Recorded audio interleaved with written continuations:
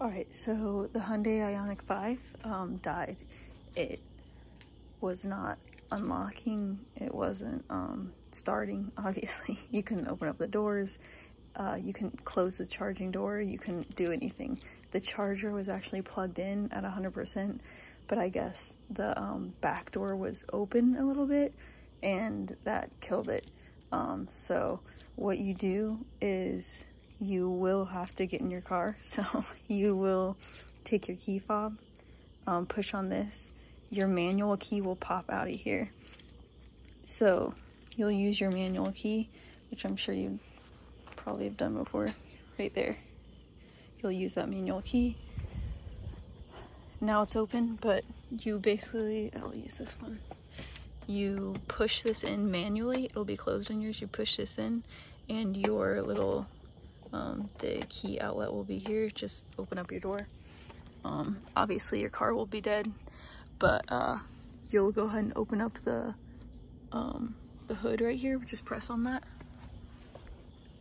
Once you press on that, you can open up your hood. And this is all opened up right now, but so this will be covering that part right here. So this will be closed on yours. Let me just show you. This will all be closed. So you'll see that when you open it up. Um, that looks like it's the battery, but with this one, you just open up this part. This will be here.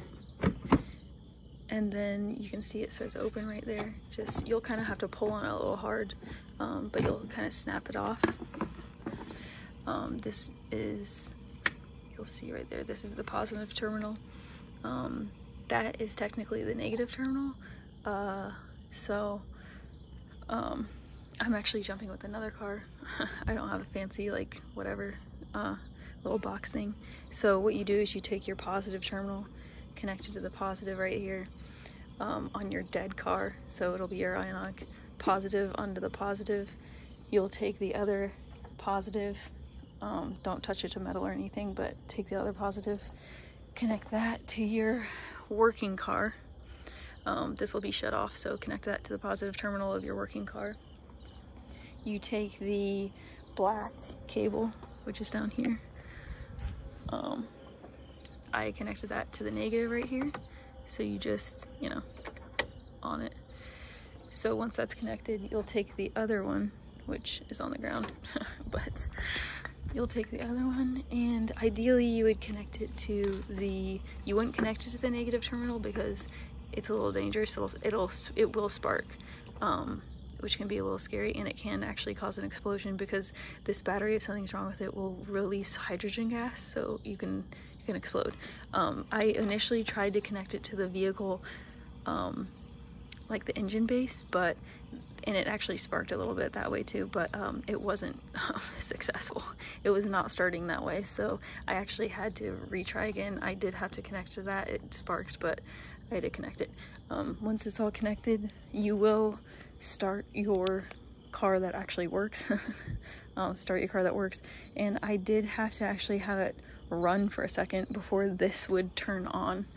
Um, so once it was running for a second, um, once my working car was running, this finally, the dash lit up. Um, so I knew it was like trying to start up. and be aware uh, if your door is open and your car is locked or anything like that if your any of your doors are open your alarm will go off. Um, so just have your key fob ready have your key ready um, just be aware your your um, it basically wants to set off the alarm so you'll get a notification on the app for sure. But yeah so um, I was just able to push the button now we're kind of sitting here with the um, battery. So now the larger battery is working. Um, so we're kind of sitting here just to make sure that uh, it kind of charges up that 12 volt battery because that's what actually died. 12 volt, the smaller 12 volt battery. So I'm just sitting here. Um, we put it in utility mode. I learned this on a, some other guy's video.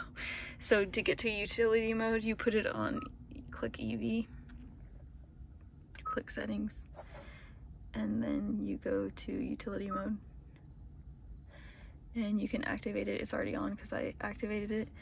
Um, that'll make it to where you can kind of sit here and it's not draining your DC battery. It's actually running off of the larger battery right now. And it's it's kind of like if you were back in the day when, or well, still now, if you're using a traditional car, not an electric car, um, once you kind of start up your car that was struggling or that the battery was dead, you kind of want to like either rev the engine or kind of like drive around the block to get it, to get your battery going. Um, but he said, yeah, you don't do that with this car. Or if you can't, you can't. So you just uh, let it run for a second. He recommended like 30 minutes or something. I don't know if it's necessary, but here I am. Um, but yeah, and uh, it was fully charged. I didn't get a notification that the battery was draining. Um, I didn't get any sort of notification about that. As you can see, it was 100. It was 100 percent actually. Um, the charger was still in the door, um, but yeah. So uh, the door was just cracked open, I guess. So I and it just killed that 12 volt. volt. Alright, so that's it, I guess. Alright, bye.